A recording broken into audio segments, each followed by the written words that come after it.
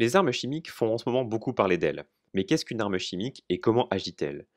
Depuis que les hommes se font la guerre et qu'ils s'intéressent à l'extraction de produits naturels et à la synthèse chimique, ils utilisent des molécules capables de tuer.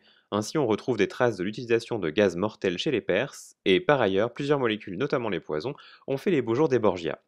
Ce n'est cependant qu'à partir de la Première Guerre mondiale que les techniques nécessaires au développement et à la production en masse de telles molécules ont été mises en place. En 1993, l'ONU ouvre à signature une convention sur l'interdiction des armes chimiques qui propose de limiter les stocks d'armes chimiques potentielles au plus bas et de détruire les stocks existants. Selon cette convention, tout produit dangereux est considéré comme arme chimique potentielle. Seuls les produits dangereux destinés à la recherche et les produits dangereux servant de précurseurs, notamment dans l'industrie des plastiques, peuvent être conservés à grande échelle, les autres doivent être détruits.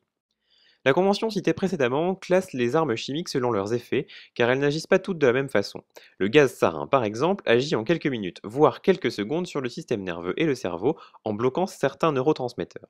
Le cyanure agit de façon quasi immédiate, en passant par le sang et en privant les cellules d'oxygène. Le gaz moutarde, un agent irritant très utilisé pendant la Première Guerre mondiale, agit lui en 4 à 6 heures et provoque de graves brûlures sur la peau et irrite les poumons et les yeux notamment. Le phosgène, quant à lui, est un agent suffocant qui, comme son nom l'indique, agit en moins de 3 heures sur le système respiratoire. Dans les autres classes, on retrouve les agents lacrymants, comme le spray au poivre, les agents incapacitants et les cytotoxines qui tuent les cellules, comme le ricin.